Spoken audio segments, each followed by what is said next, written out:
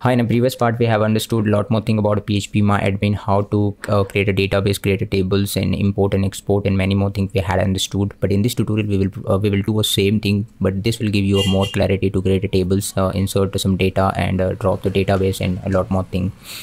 So without wasting time, let me just go ahead and uh, write some queries and give you some basic idea about PHP My admin. All right, so PHP My admin is a software we can uh, we can perform some action on MySQL. So here are our user interface. We can create a table. So there are two way, uh, all the two way. I'll show you uh, step by steps. All right. So let me just write a query. This is a boring way to write a queries uh, in MySQL. Uh, but PHP admin gives uh, us a very nice user interface to create a tables and a lot more thing we can do just drag and drop and just click the buttons and anything you can do with this so first we need to create a, a database uh, this is boring way to write a queries so create a database create database and name of the database right? So mysql underscore uh, tutorial. So this is my uh, this is my database name. So just go ahead and you will see my database name mysql tutorial has been created. All right so let me just click this database. So our database has been selected. Now again just go to sql and here we will write queries to create a tables because uh, database have a tables and tables have some data so you can understand in this way. So let me just create a table create a table and name of the table employee uh, table. All right so you can add this bracket and semicolon. Then you can hit enter here. And now we will define some data. So our data is uh, id is int uh, integer type of data. And uh, we don't want to no, not null. Not null capital not null. And it should be auto incremented. Okay so first uh a column first field we have defined which is in id is integer type and uh, it's a uh, not null and auto incremented. And next uh, you can define some more data like uh, employee's name name uh, should be varchar varchar and you can give a length of uh, your your employees just 50 and it should also be a not null then second uh, third parameter is occupation of the employee. So occupation you can uh, add age and anything you can add occupation occup occupation and it's also varchar and not null. So you can just uh, copy and paste here because we are defining the same data. And uh, fourth parameter fourth field uh, in the table have age.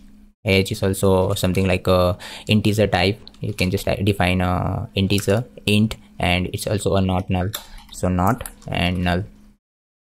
All right so like this way you can just uh, define the things and define the some data type of, of your data of the table. So we have a, a employee table. Inside we have some fields id name occupation and age. Means uh, age of employee a occupation of uh, uh, employee and uh, name of the employee and id of employee because a particular employee have a unique id so that's why.